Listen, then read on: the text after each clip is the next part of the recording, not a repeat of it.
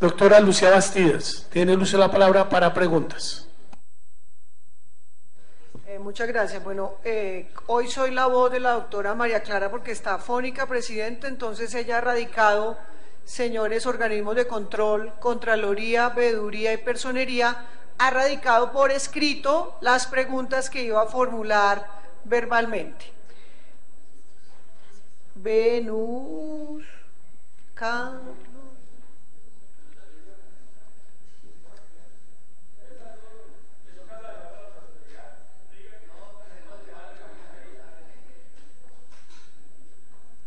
Perdón, doctora Lucía, eh, hay una hay un escrito que ha presentado la doctora Clara, entonces tiene afonía sin voz, afonía, no disponía, sino afonía.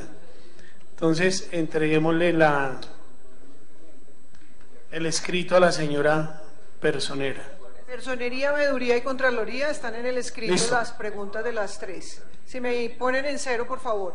Eh, uno, aclarar que veeduría, contraloría y personería tienen un aumento, veeduría y personería del 6% y contraloría del 3.5% en relación con el presupuesto del año pasado. Contrario a algunas entidades, como la Secretaría de la Mujer, el IDEPAC y otras mujeres que tuvieron baja de recursos. Eso vale la pena aclararlo en el presupuesto.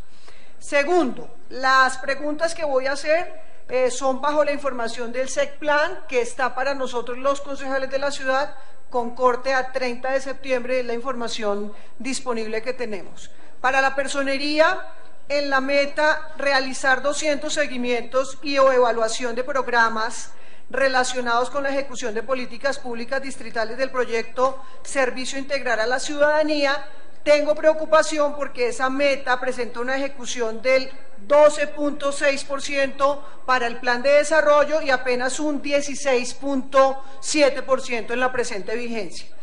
Así igualmente, en la meta capacitar 2.000 servidores y servidoras públicos distritales en el conocimiento de derechos, deberes y prohibiciones en el ejercicio de la función pública, del proyecto de desarrollo y consolidación de la investigación disciplinaria y lucha contra la corrupción, va en el acumulado del plan de desarrollo en un 8% y, perdón, eh, sí, en 8% y en la presente vigencia apenas un 32%, lo que quiere decir que la meta va, esas dos metas van mal, van atrasadas y van viejitas. Nosotros tenemos la información hasta el 30 de septiembre.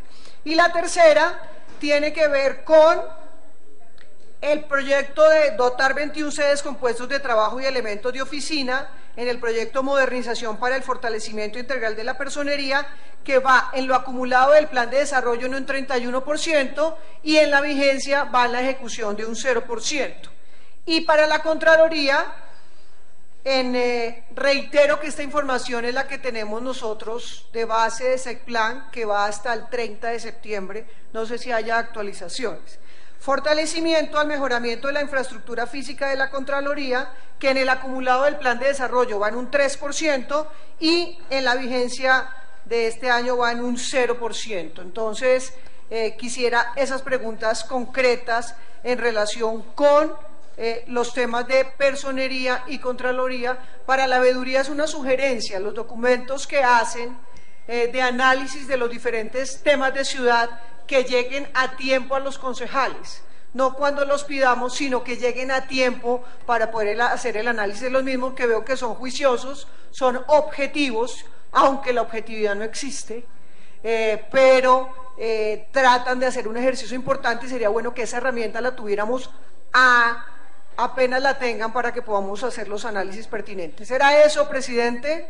Muchísimas gracias.